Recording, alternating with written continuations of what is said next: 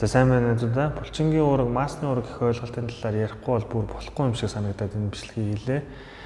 Тэгэхээр V уураг буюу шар сууны уургийг манайхан орчуулахдаа булчингийн уураг гэдэг. Харин маш хэмжээний килокалоритой ишлэгтэй уургийг масны уураг гэж ярьдаг тийм.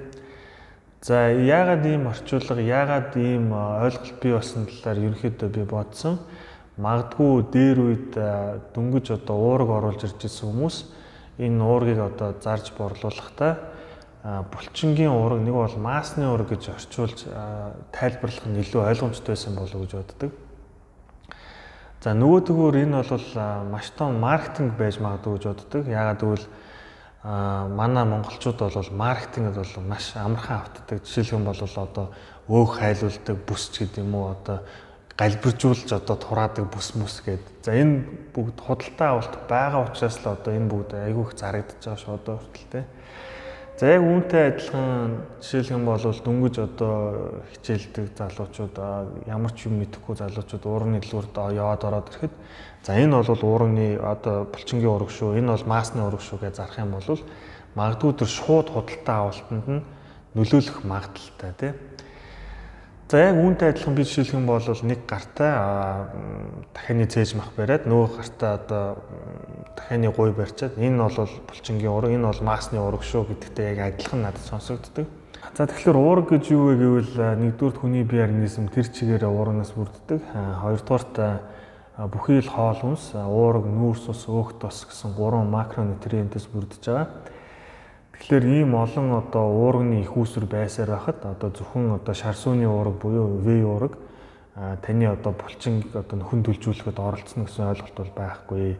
Тэртээ дөрөнгүүдээ тэр шар сууны уураг таны бие организмд ороод амин хүчил болж задраад тэгээд одоо тэр тэдгээр амин хүчлээс одоо хүн одоо өөрийн одоо ДНК-гаар өөрийн одоо уургийг бол бий болгоно. За яг үүнтэй адилхан энэ бодибилдинг фитнесийн спортын нэмэлт ижил донд буруу ойлголт байдаг. За тэр нь юу гэвэл суц тэлэгч байгаа. За суц тэлэгчин дотор бол ямар нэгэн суц тэлдэг бодис бол байхгүй. Дотор нь бол кофеин одоо зарим нэгэн амин хүчлүүд байгаа. За энэ нь бол таны зүрхийг дэлсүүлээ, таны одоо цусны эргэлтийг сайжруулад та илүү одоо эрч хүчтэй бэлтгэл хийгээд таны булчин илүү хөөлөгдөг ийм л зүйл байна. За энэ буруу ойлголтоос болоод эмчнэр одоо гайхах нь бол аргагүй байх гэж боддог. Ягаад гэвэл одоо энэ бодибилдинг фитнесийн ч одоо э, суц тэлэгч хэрэглээ. За нөгөө суц тэлэгч нь магадгүй одоо хэрэглэгээ болсны дараа э, огцон болонгууд нөгөө судас нь бүр нарийсаад нэг бол харваад одоо зүрхний шигдээс болох үедээ гэж айх нь бол аргагүй гэж би бас боддог. За та бүхэнд би нэг асуулт тавья. Булчингийн маасанд булчингийн ураг уух уу, маасны ураг уух уу? За энэ асуултанд комент хийж хариулаарай. Хамгийн үжилтэй комментиг би шалруулах болно. За ийм олон буруу ойлголтууд төөрөгдлүүдээс болоод би энэ бичлэг хийсэн. За яг одоо би бодибилдинг фитнесээр маш олон жил хичээлсэн залуучуудыгаа, багш нарыгаа, тамирчдыгаа уриалмаар байна. За V уургийг зүгээр шар сүүний уураг те. Гейнерийг бол жин нэмэгч, суц тэлэгчийг зүгээр бэлтгэлийн өмнөх.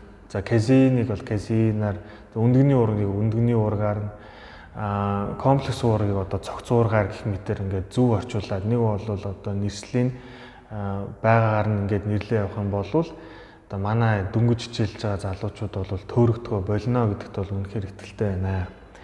За ингээд энэхүү бичлэгээ өндөрлөе. Дараагийн бичлэгээр өсөлтийн гормон гаднаас хэрэглүүл хэр аюултай вэ гэсэн бичлэг орох болно. Ингээд удахгүй уулзлаа түр баяртай.